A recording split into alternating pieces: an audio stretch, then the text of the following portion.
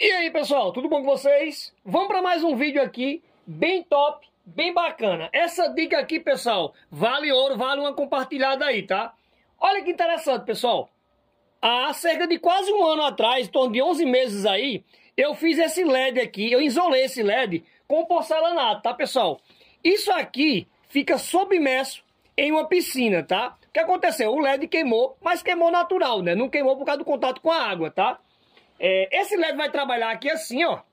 Tá? Ele trabalha assim, na parede da piscina. Então a água entra aqui e fica tudo submerso aqui.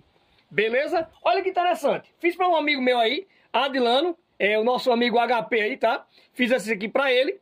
Então, olha a resistência e olha a qualidade desse produto.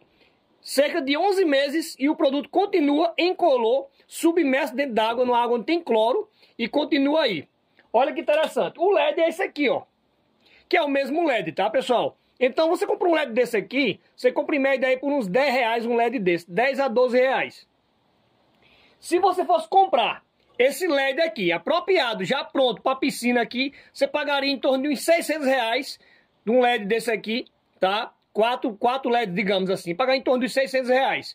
Isso, essa carcaça aqui de inox, em lugares que vende material para piscina, você compra em torno de uns 25 reais, tá? Um LED desse aqui você compra por 10 e eu gasto aqui em torno de 10 a 15 gramas para isolar esse, esse LED aqui. Então vou mostrar para vocês rapidinho aqui. Primeira coisa que eu vou fazer, pessoal. Precisa de uma forma de silicone, tá? Eu vou primeiro aplicar uma camada de porcelanato aqui, de uns 5 milímetros de espessura. Depois que secar, eu boto o LED aqui em cima e preencho o restante aqui. E vou deixar essa parte dele aqui, tá? Para não, pra não cobrir total, porque é para ele esfriar o LED. Então acompanha aí rapidinho aí. O produto que eu vou usar é esse aqui, ó. Porcelanato líquido. Ele é um bicomponente, tá, pessoal? Na proporção de 2 para 1. Resina endurecedor, tá? Acompanha aí rapidinho, vamos lá. Vou pesar aqui 40 graminhas, tá, pessoal? 45 gramas, eu acho que no máximo, não dá mais do que isso. Vamos ver aqui.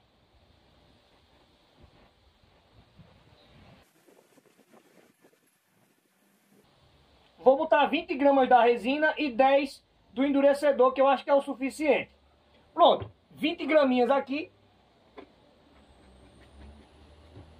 Da parte A e metade da parte B. Zerar a balança e botar 10 gramas.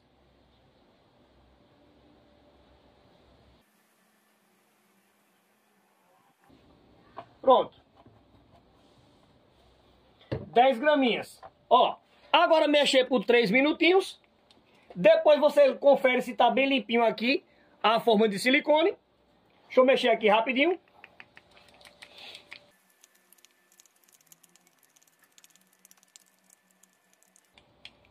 Pronto, pessoal. Mexi aqui, ó. O que é que eu vou fazer? Deixar paradinho aqui agora.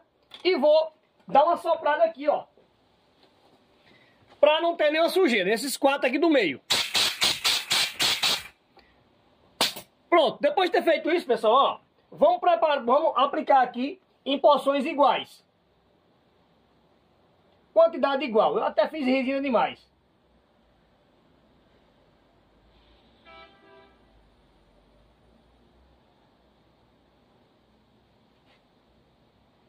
Deu a quantidade certinha que eu queria, tá, galera? Ficou top. Então, ó, no total aqui para a primeira aplicação, gastei 30 gramas de resina, tá? É o suficiente.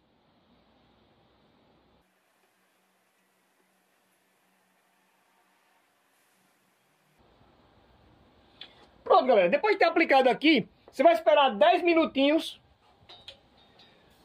que é o tempo que as bolhas flutuam, e você vem e passa um maçarico. Então deixa eu passar esses 10 minutos que eu volto com vocês. Olha, pessoal, cobri aqui, ó, para não cair poeira. Se passar em torno aí de uns 10 minutos, tá aqui, ó, molinho aqui ainda. As bolinhas flutuaram. Vamos pegar um maçarico aqui, ó. Tem que estourar as bolinhas com maçarico, tá, pessoal? Senão fica ó, um oxigênio nas bolinhas e não dá certo. Ó, só isso aqui, ó. Vou colocar um pozinho aqui. Caiu um, um gravetinho aqui, ó.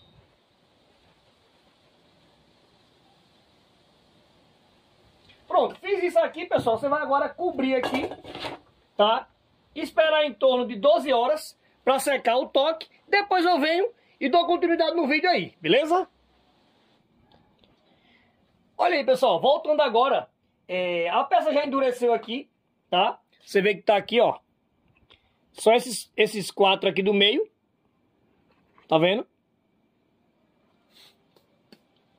Então, ó, endureceu aqui. O que, é que eu vou fazer agora, pessoal? Já preparei um pouquinho de porcelanato aqui. Eu vou pôr só um pouquinho em cada um, que é pra preencher o, o vidro do LED aqui em cima e botar aqui em cima. Acompanhe rapidinho aí, ó.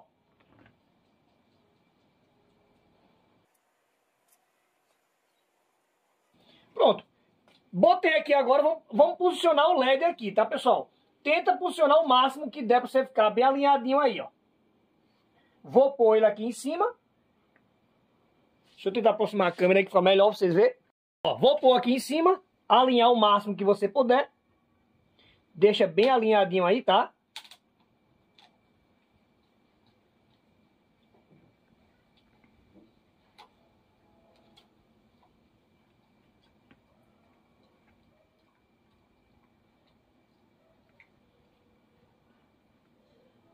Só é meio chatinho a parte de alinhar aqui, porque você tem que deixar parado para não se mover, né?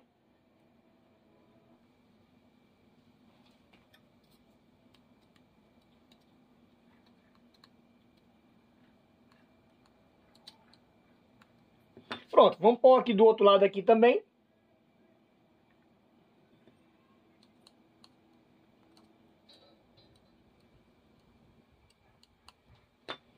E o outro também aqui, ó.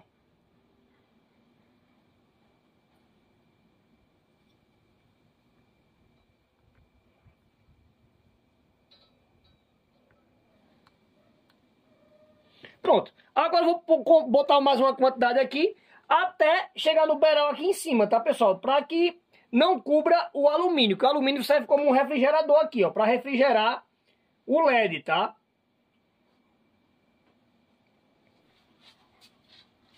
Pronto, pessoal, vou alinhar bem direitinho aqui agora. Você vai tentar cobrir isso aqui para não cair poeira. Espera aí 24 horas e eu volto com vocês para a gente desinformar e botar lá na piscina para a gente ver o resultado final. Beleza? Para que fique como esse aqui que eu mostrei para vocês, ó. Ok? Olha aí, pessoal, voltando aqui agora no vídeo agora, ó. 24 horas depois, já tá seco. Já desinformamos um aqui, ó. Fizemos um teste, né? Tá aqui meu, meu amigão aqui, HP, aqui do lado. Pra dar esse polimento aqui, pessoal, você pode dar naquele motor esmeril, né? Com a, com a boina de, de polimento. Ou você pode simplesmente derramar um pouquinho aqui depois de pronto, deixar escorrer, vai ficar 100%. Então, ó, desinformar aqui é simples como a, a, a desinformei que já tá na prática já. Meu amigo, ó. HP essa figuraça aqui, ó. E HP? E aí? Dá um oi pra galera aí. Beleza. Tamo junto. Esse é amigão meu aqui, tá, pessoal? E ó, desinformou aqui, fica ele um fica, fosco. fica fosco, né, HP? Então, ó, você vê que fica fosco por causa, por causa da, da forma, tá? Agora a gente vai levar no motor ali e dar um polimento. Acompanha aí. Pronto, galera, vamos pra parte de polimento aqui. Isso é a parte de polimento, né? É. Passa um pouquinho da pasta, né? Ó, mostra aqui, mostra aqui pra gente ver que tá... Não, aqui. Ó. O LED tá fosco, tá, pessoal? Vocês veem aí, ó. Arrocha aí, bem. Tanto você pode polir assim, como ele tá fazendo aí agora, como você pode preparar um pouquinho da resina e jogar em cima e deixar ele escorrer.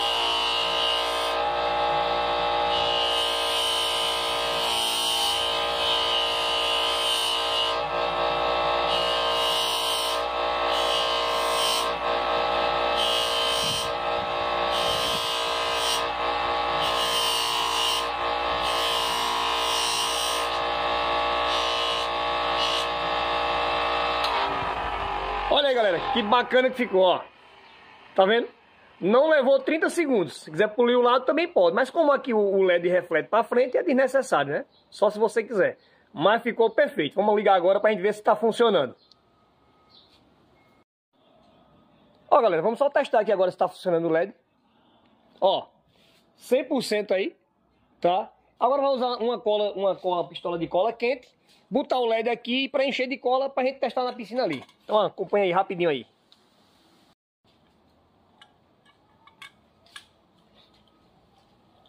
Cara, os olhos, os olhos piscando azul agora.